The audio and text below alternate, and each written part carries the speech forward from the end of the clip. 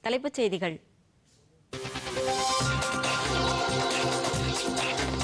உலகம் முழுமைக்குமான புத்தாக்கங்களை மேற்கொள்ள இளைஞர்கள் கவனம் செலுத்த வேண்டும். ஸ்மார்ட் இந்தியா ஹேக்கத்தான் நிறைவு நிகழ்ச்சியில் பிரதமர் நரேந்திர மோடி வலியுறுத்தல்.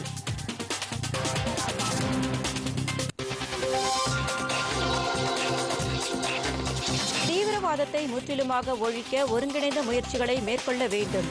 பாதுகாப்பு படையினருக்கு உள்துறை அமைச்சர் அமித்ஷா அறிவுரை.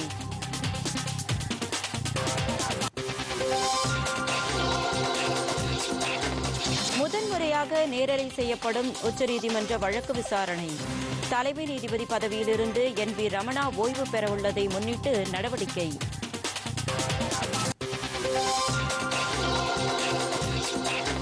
நீட் தேர்வு முடிவுகள் அடுத்த மாதம் ஏழாம் தேதி வெளியிடப்படும்.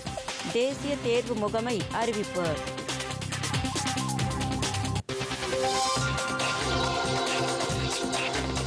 இலங்கைக்கு வழங்கிய கடனை மறுகட்டமைப்பு செய்ய வேண்டும். சீனாவுக்கு இலங்கை அதிபர் ரணில் விக்ரமசிங்கே கோரிக்கை.